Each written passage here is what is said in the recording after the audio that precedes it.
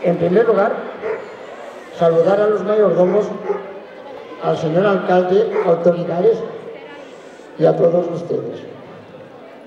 Para empezar, buenos días San Antón a todas las familias y amigos que se encuentran aquí en reunión. Este año los dichos van más de cara a las hermanas que han marchado, después a las luces y un poco a la agricultura. Aquí había algunas personas que se encuentran muy en paz, que son las hermanas. Se tuvieron que marchar, pero nos enseñaron educación, que poca hay. Ayudaron a todo el pueblo y a las madres les enseñaron a podernos criar. Y esto creo que nunca las podremos olvidar. Me dijisteis, ¿cuántos años tenía? Dice, yo os digo, 67 y 31 de recitar. Va y me metéis 98 en la gente, se metió un cachondeo en el pueblo. Digo, pues ahí va. Digo, pues no me quedan años aún para poder estudiar. San Antonio Abad se comportó de peregrino para ayudarnos a todos nosotros.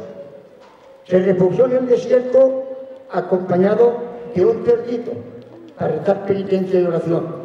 Fue entonces cuando los demonios lo vinieron a tentar. Y Antonio, que no es cobarde, decía, venid, venid que no os temo.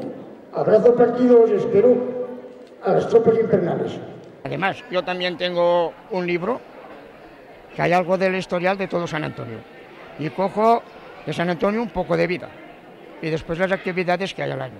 Las actividades más fuertes que han habido son las luces que ha sido un éxito y las hermanas de estar toda la vida aquí y las sacaron.